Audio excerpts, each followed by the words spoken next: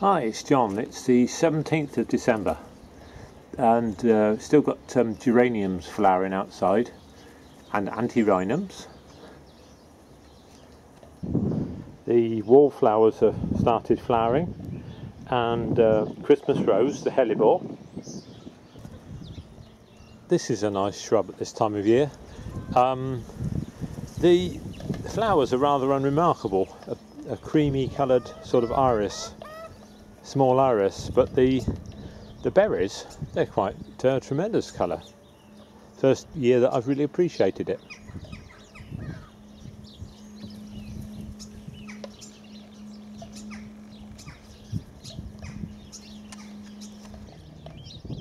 And we've got a few roses out in December, which is unusual. And the um, the annual geranium that's still going and uh, more roses. And um, daffodil. Daffodils out. There's some really early daffodils at Yeovil I bet they're out all, all along the road. But they say it was the 17th of December. Primroses. Uh, the trouble is we have with primroses here that the sparrows eat the flowers. And this is um, a marriage bush which is in flower can't say any more than that about the name of it.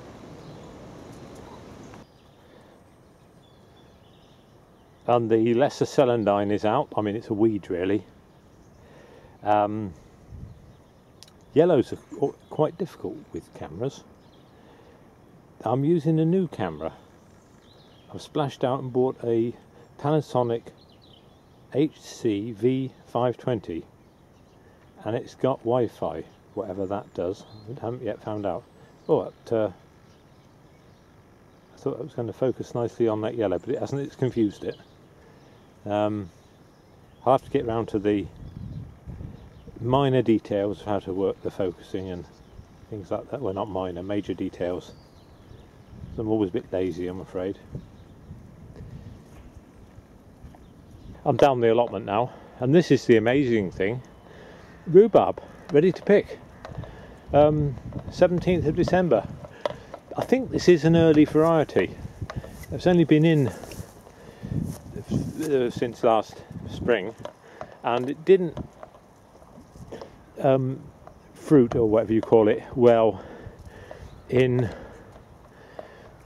the autumn or the summer but now it's um, you know we could have a feed off of this and the globe artichokes they're greening up well um, if they keep this amount of growth all through the winter into springtime, we should have a tremendous crop of globe artichokes. Um, I, I, I, mean, is it to do with global warming? I don't know. Um, probably is, isn't it? Uh, we've just had the Paris Agreement, and uh, they think they can predict how much the Earth is going to warm up by. Um, well, I suppose it, if because it doesn't affect me very much, I'm not that worried. But I ought to be worried, I suppose. It's those people in the Pacific Islands who've really got tremendous worries. I mean, they've got to move out, really, haven't they? They got to, people have have got to move out of flood-prone areas as soon as possible, um, and people with the higher land have got to, you know, be considerate quite a challenge for humanity. You know, the repopulation of the earth. I was thinking about um, carbon capture. Well, trees is the best carbon capture. You know, they, they, they're thinking about some sort of chemical or mechanical carbon capture. But why not just plant more and more trees? And then you could even um, seal up the wood. Know, not burn it, just seal it in uh, in plastic or something you know, and that, that would be carbon captured. Anyway, bye for now.